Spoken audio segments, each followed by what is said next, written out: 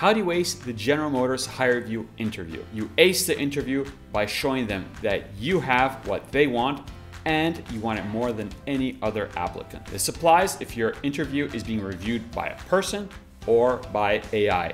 This video will help you ace the interview and we're gonna break it down into three simple steps. First of all, we'll discuss what General Motors looks for in the people that it wants to hire. Based off that understanding, we'll look at which questions can be asked in the behavioral section of the interview.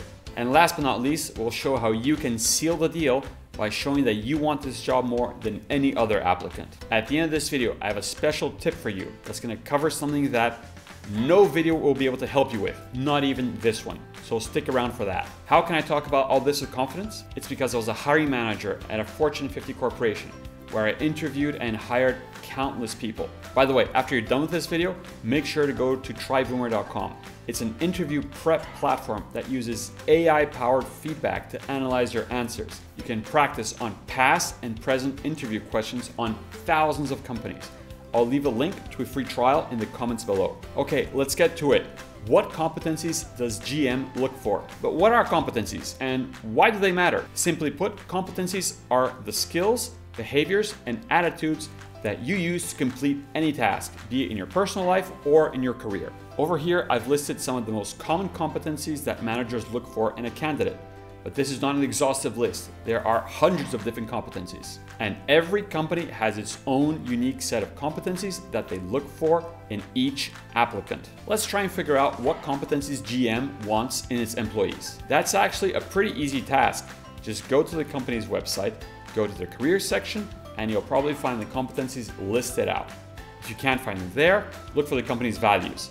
Values and competencies are very closely related to each other.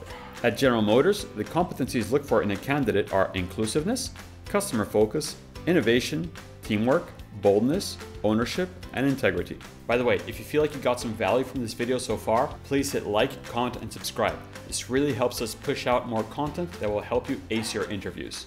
Great, now we know what General Motors is looking for. Guess what the questions will be about? Those competencies. It really is just that simple. So an example question for the integrity, accountability, or ethics questions might be, tell me about a time that your values were challenged at work. So you see how the company's values get translated into competencies and then those get translated into questions.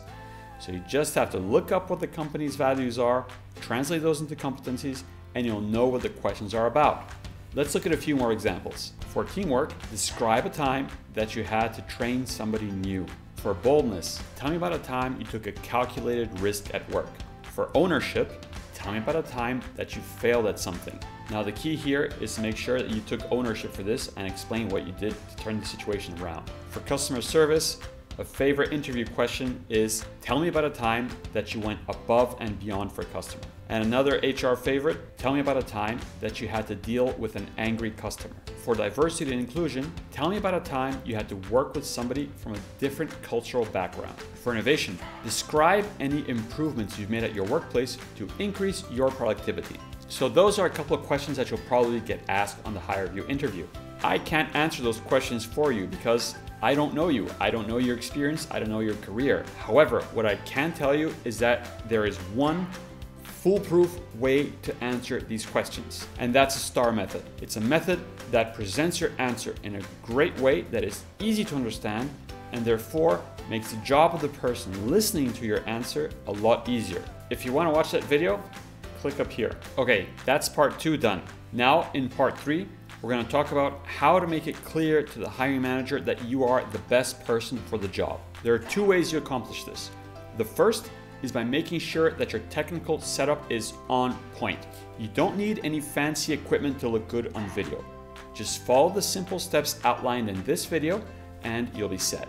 That video goes over what to expect, lighting and audio tips, as well as several other things that may seem small but actually have a really big impact on how you look and sound on your interview. Having a good technical setup shows the hiring manager that you value this opportunity and took the time to get ready for it.